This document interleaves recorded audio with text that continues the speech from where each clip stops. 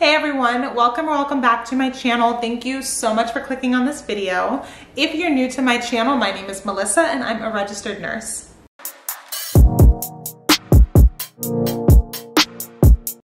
So in today's video, we're going to go over how to study for one of the hardest, if not the hardest class in nursing school, and that is pharmacology. I recently finished nursing school, and of course I had to take and pass pharmacology.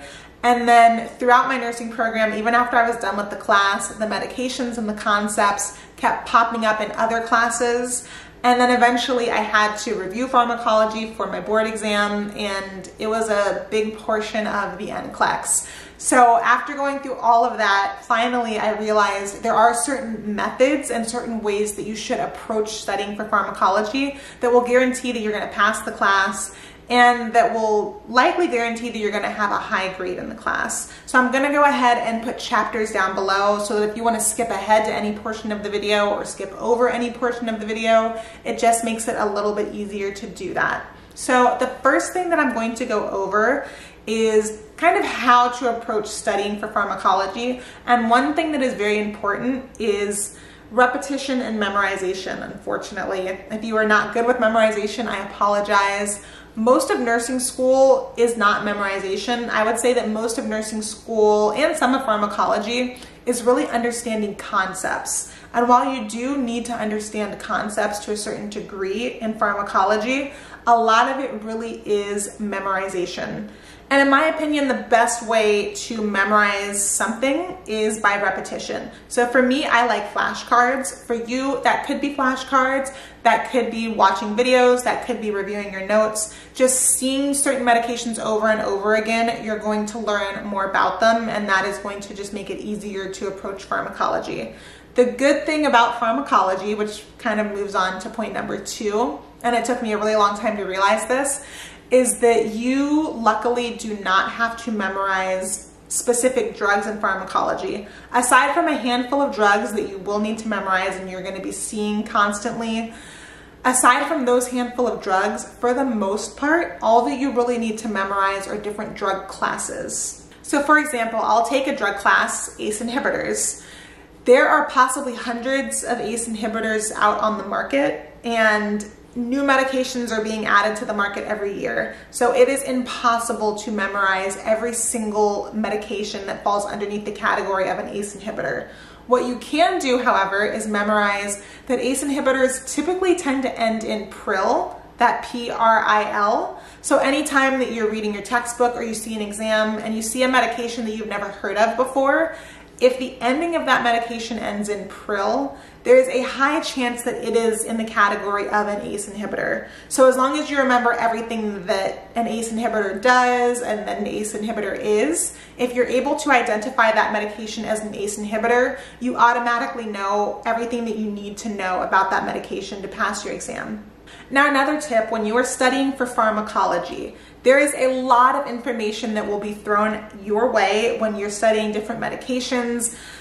At least for me in nursing school, we went over how that medication enters the body, the different routes that it takes, every single thing that it does into the body before it exits the body, how long it takes to exit the body. There's so much information that they give us on medications in nursing school, and it can get very overwhelming. And so in my opinion, if you remember nothing else about a drug or a medication, just remember two things. Number one is the indication for that drug. And number two is the nursing consideration for a drug. So again, I'll use ACE inhibitors as an example in this case. You may not be able to describe exactly how ACE inhibitors work in the body or exactly what they do in the body, but what you will need to know for your exams and especially for the NCLEX are that ACE inhibitors are used to treat hypertension and CHF. So those are two indications for ACE inhibitors. And then the nursing considerations that you should have for ACE inhibitors are that you need to monitor the patient's blood pressure and that ACE inhibitors are contraindicated in pregnant patients. So you may not be able to explain why you shouldn't give this to a pregnant person, but you should know that it is a contraindication. And you should know, even if you don't know, why you should be monitoring blood pressure, which I personally think you should, but no judgment, you should at least know that that is something that you should be doing as the nurse. So again, even if you don't know everything, you don't have to study each and every drug class or each and every medication until you know everything about it. But you should know every drug class enough to know why the drug is being prescribed and what you should be looking out for once it is prescribed. Now this next tip is just my own personal thing. It depends on your learning style and it also depends on your professor and how they're teaching the class. But I have found that it is much easier for me anyway to learn about each drug if you go system by system or each medication class if you go system by system. So as you're learning about the cardiovascular system or the circulatory system, learn about all of the different drugs that affect that is you're learning about the skeletal system, learn about all the different drugs that affect that, and just kind of go in order by system. If that does not work for you or if that's just not your learning style, I would advise you to find some other systematic way of studying each drug class rather than just learning about different drugs here and there. When I took pharmacology, I personally felt like I learned about just kind of different drugs randomly, and I think it would have been a lot more helpful if I went system by system. When I was studying for my board exam, that is actually what I did.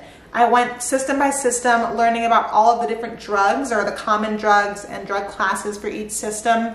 And I felt like I was able to retain a lot more information that way. And just for me, it made a lot more sense. So find a system that works for you to study each drug class in an organized way that makes sense for you. And then the very last tip that I have is when you are taking pathophysiology, pay very close attention as you're learning about different diseases to which medications treat those diseases. At least for me, I felt like when I was taking pathophysiology, we talked about different treatments for each disease and we briefly talked about the pharmacological treatments, so the medication treatments. We learned a lot about other nursing treatments and if I could go back in time, I would have spent a lot more time learning about the different drugs that treated each condition. In my opinion, learning them at the same time is the best way to learn. If you're fortunate enough to be taking pathophysiology and pharmacology at the same time, well, I don't know if I'd say fortunate because those are two very difficult classes, but if you are not taking them at the same time, I would advise if you have time, every single disease that you go over, make a note or be intentional about what medications are typically used to treat that disease.